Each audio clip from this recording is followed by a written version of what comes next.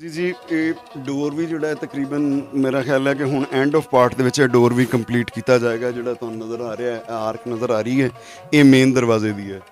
ਅੰਦਰ ਜਿਹੜੀ ਕਿ ਆਪਾਂ ਗੱਲ ਕੀਤੀ ਹੈ ਕਿ ਤਮਾਮ ਜਿਹੜਾ ਕੰਮ ਸੀਗਾ ਫਿਨਿਸ਼ਿੰਗ ਵਾਲਾ ਆ ਗਿਆ, ਸਾਰਾ ਕੋਨਾ ਕਿਨਾਰਾ ਜਿਹੜਾ ਲੈਵਲ ਹੁੰਦਾ ਹੋਇਆ ਨਜ਼ਰ ਆ ਰਿਹਾ, ਬਹੁਤ ਹੀ ਸੋਹਣਾ ਲੱਗ ਰਿਹਾ ਕਿਉਂਕਿ ਆਪਣੀ ਦਿੱਖ ਦੇ ਵਿੱਚ, ਅਸਲ ਦਿੱਖ ਦੇ ਵਿੱਚ ਜਿਹੜਾ ਹੈ, ਉਹ ਆਸਤਾ ਆਸਤਾ ਪਹੁੰਚਦਾ ਜਾ ਰਿਹਾ ਜਿੱਦਾਂ ਕਿ ਆਪਾਂ 98% ਦੀ ਗੱਲ ਕੀਤੀ ਹੈ, ਤਾਂ ਬਿਲਕੁਲ 98% ਵਿੱਚੋਂ ਸਿਰਫ 2% ਮੈਂ ਇਹਨਾਂ ਨੂੰ ਲੈ ਰਿਹਾ ਇਹ ਜਿਹੜੀ ਆਰਕਸ ਨੇ, ਇਹਨਾਂ ਦੇ ਅੰਦਰ ਵਾਲਾ ਏਰੀਆ ਜਿਹੜਾ ਨਾ ਥੋੜਾ ਜਿਹਾ ਨਜ਼ਰ ਆ ਰਿਹਾ ਬਾਕੀ ਸਕੁਅਰ ਜਿੰਨੇ ਵੀ ਨੇ, ਉਹ ਪੂਰੇ ਹੋ ਚੁੱਕੇ ਨੇ।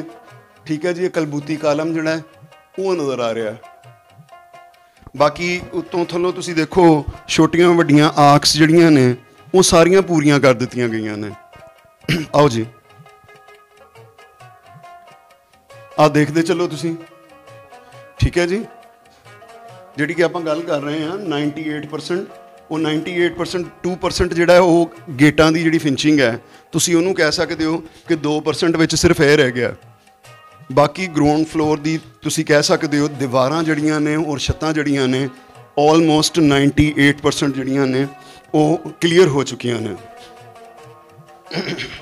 ਨਾਲ ਹੀ ਨਾਲ ਜਿਹੜਾ ਕਿ ਗੇਟ ਸੀ, ਇੱਕ ਜਿਹੜਾ ਬੰਦ ਕਰ ਦਿੱਤਾ ਗਿਆ ਸੀ, ਉਹ ਬੜੀ ਸੋਹਣੇ ਤਰੀਕੇ ਨਾਲ ਉਸ ਗੇਟ ਨੂੰ ਦੁਬਾਰਾ ਤੋਂ ਬੂਹੇ ਨੂੰ ਪ੍ਰੀਜ਼ਰਵ ਕੀਤਾ ਜਾ ਰਿਹਾ ਹੈ, ਜਿੱਥੋਂ ਕਿ ਸਵਾਰਾ ਸਾਹਿਬ ਕੀਤਾ ਜਾਂਦਾ ਹੋਵੇਗਾ ਗੁਰੂ ਗ੍ਰੰਥ ਸਾਹਿਬ ਦਾ, ਕਿਉਂਕਿ ਇੱਥੋਂ ਹੀ ਉੱਤੇ ਦੀਵਾਨ ਦੀਵਾਨ ਕਹਿ ਰਹੇ ਹਾਂ ਜੀ ਆਪਣਾ ਸੁਖਾਸਨ ਸਾਹਿਬ ਜਿਹੜਾ ਉਹਦੇ ਵਾਸਤੇ ਇਹੀ ਰਸਤਾ ਬੈਕ ਤੋਂ ਜਾਂਦਾ ਔਰ ਸ਼ਾਰਟਕਟ ਜਿਹੜਾ ਸਾਰਿਆਂ ਤੋਂ, ਉਹ ਇਹੀ ਜਗ੍ਹਾ ਸੀ।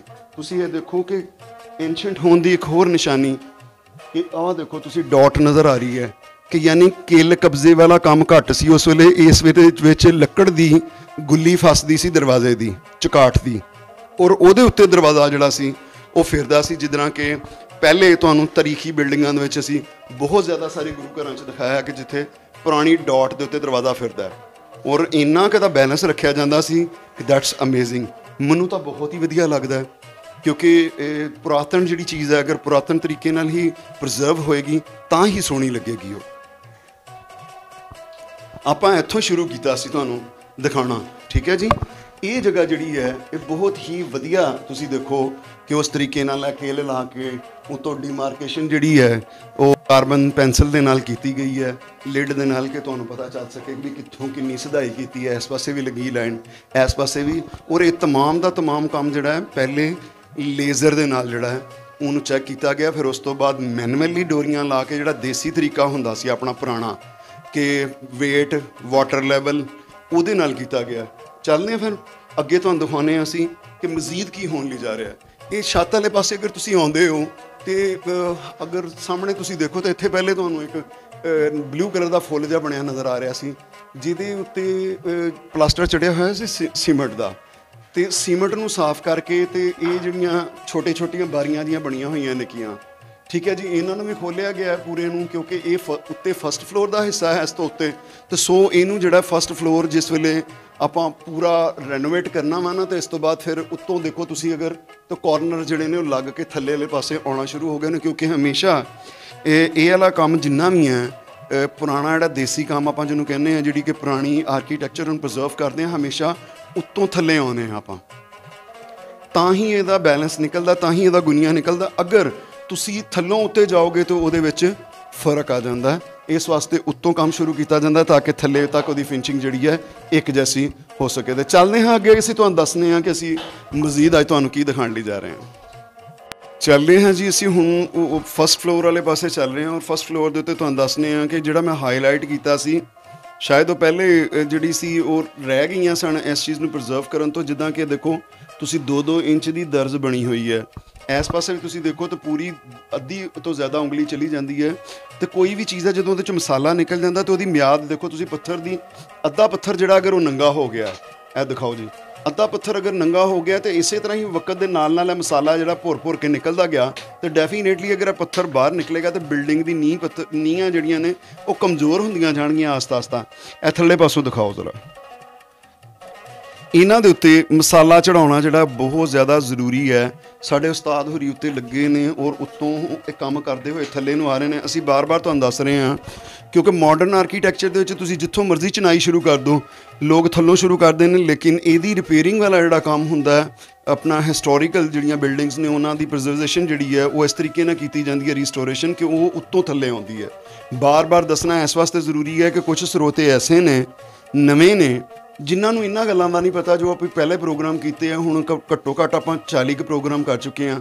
ਲੇਕਿਨ ਹਰ ਬੰਦਾ ਜਿਹੜਾ ਉਹ ਡੇ 1 ਤੋਂ ਪ੍ਰੋਗਰਾਮ ਨਹੀਂ ਦੇਖ ਰਿਹਾ ਹੁੰਦਾ, ਉਹ ਨਵਾਂ ਪ੍ਰੋਗਰਾਮ ਦੇਖਣਾ, ਇਸ ਲਈ ਉਸ ਥੋੜੀ ਜੀ ਵਰਡਿੰਗ ਜਿਹੜੀ ਆ, ਉਹਦੇ ਨਾਲ ਅਸੀਂ ਆਪਾਂ ਰਿਪੀਟ ਕਰਦੇ ਹਾਂ, ਤਾਂ ਕਿ ਸਾਡੇ ਜਿਹੜੇ ਨਵੇਂ ਸਰੋਤੇ ਨੇ, ਨਵੇਂ ਦੇਖਣ ਵਾਲੇ ਨੇ ਵਿਊਅਰ ਜਿਹੜੇ ਨੇ, ਉਹਨਾਂ ਨੂੰ ਪਤਾ ਲੱਗ ਜਾਏ ਕਿ ਆਪਾਂ ਕਿਉਂ ਇਹ ਕੰਮ ਕਰ ਰਹੇ ਹਾਂ ਇਸ ਤਰੀਕੇ ਨਾਲ।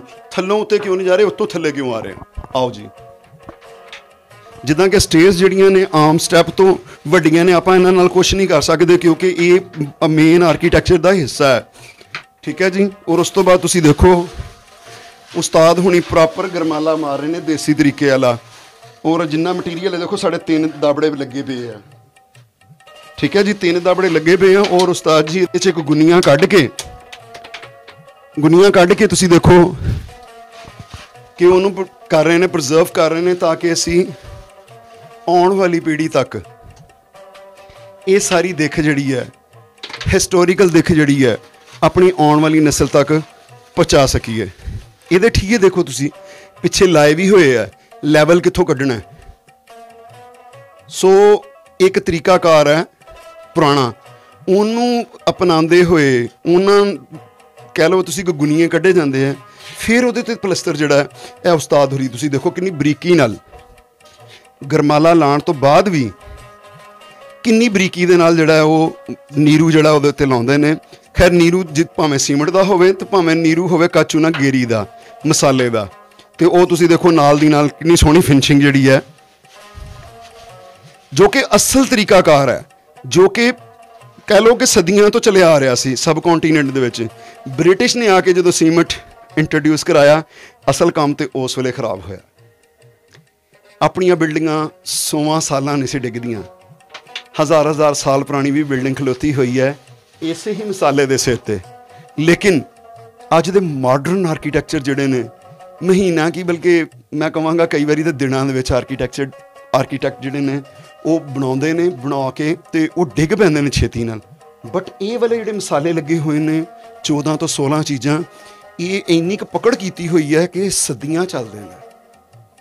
100 ਤੋਂ ਸਵਾ ਸੌ ਸਾਲ ਜਾਂ 150 ਸਾਲ ਦੀ ਤੇ ਇਹਦੀ ਗਾਰੰਟੀ ਹੈ ਕਿਹੜਾ ਆਪਾਂ ਮਸਾਲਾ ਲਾ ਰਹੇ ਹਾਂ ਕਿ 150 ਸਾਲ ਤੱਕ ਅਗਲੀ ਜਨਰੇਸ਼ਨ ਤੱਕ ਆਪਾਂ ਇਹ ਸਾਰੀਆਂ ਚੀਜ਼ਾਂ ਪਹੁੰਚਾਵਾਂਗੇ, ਕਿਉਂਕਿ ਰਣਜੀਤ ਨਿਗਾਰਾ ਦਾ ਮਿਸ਼ਨ ਹੀ ਇਹੀ ਹੈ ਕਿ ਜਿੱਥੇ ਬਾਬਾ ਗੁਰੂ ਨਾਨਕ ਸਾਹਿਬ ਦੀ ਧਰਤੀ ਹੈ ਔਰ ਉਹਨਾਂ ਨਾਲ ਜੁੜੇ ਹੋਏ ਜਿਹੜੇ ਗੁਰੂ ਘਰ ਨੇ, ਉਹਨਾਂ ਨੂੰ ਉਸ ਦੇਖ ਵਿੱਚ ਰੱਖਣਾ ਜਿਹੜੇ ਕਿ ਬਣਾਏ ਗਏ ਹੈ, ਚਾਹੇ ਉਹ 200 ਸਾਲ ਪੁਰਾਣੇ ਨੇ, ਚਾਹੇ ਉਹ 250 ਸਾਲ ਪੁਰਾਣੇ ਨੇ।